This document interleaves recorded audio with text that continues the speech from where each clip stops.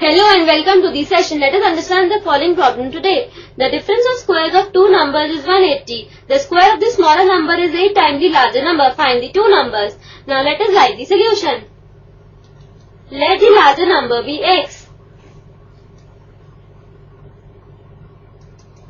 The square of the smaller number is equal to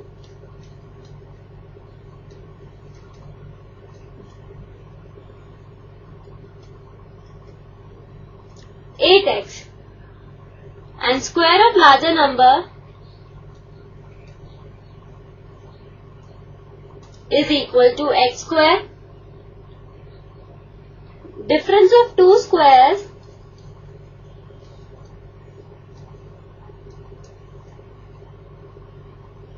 is equal to 180. Therefore, the equation form will be x square minus 8x is equal to 180. Now solving this we get x square minus 8x minus 180 is equal to 0. Now splitting the middle term we get x square minus 18x plus 10x minus 180 is equal to 0 which implies x taking common x minus 18 plus 10 taking common x minus 18 which is equal to 0 Therefore, this implies x plus 10 into x minus 18 is equal to 0 which implies x is equal to minus 10 and x is equal to 18. Now case 1. When x is equal to 18.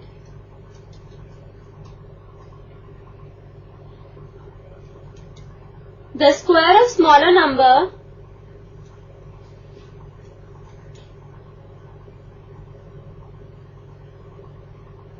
is equal to 18 into 8 which is equal to 144.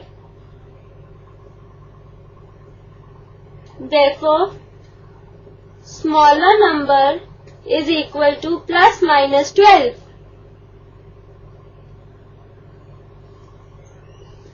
Thus, the numbers are 18 comma 12 or 18 comma minus 12. Now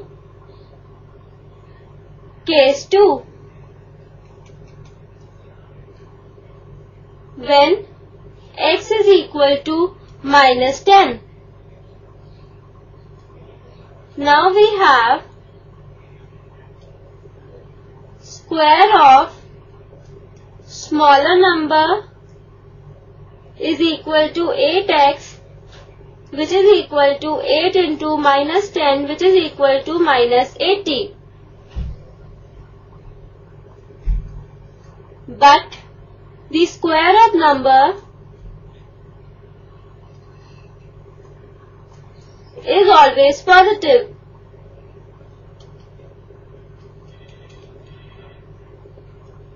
Therefore, x is equal to minus 10 is not possible.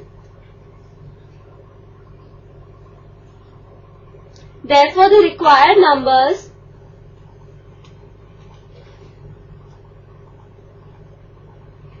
are 18 comma 12 or 18 comma minus 12. I hope you understood the problem. Bye and have a nice day.